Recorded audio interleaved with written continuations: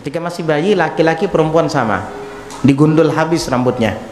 Bukan hanya dicukur ketika tasmiahan enggak. Itu permulaan aja. Ya ustadz kiai guru atau habib mencukur rambutnya simpan. Itu permulaan. Selanjutnya kamu gundul sendiri nanti.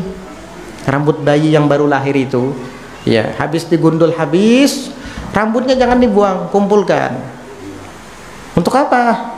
Bukan untuk dikoleksi untuk ditimbang kenapa ditimbang biar tahu berapa beratnya emang kalau tahu kenapa ya lihat kalau beratnya misalkan 3 gram, sunnah kamu untuk bersedekah 3 gram emas.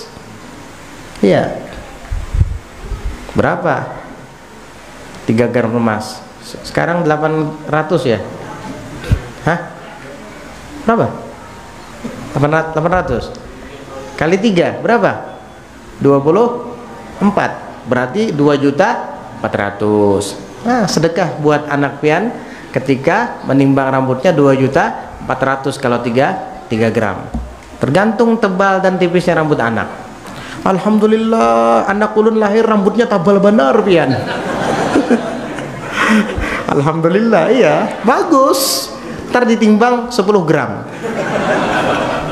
8 juta. Sedekah iya sunnah kayak gitu tapi anak ulun rambutnya tipis bener pian bebayanya nyaman lagi pasti timbang setengah gramannya 400 ribu ya Hah? sunnah begitu dicukur habis ya.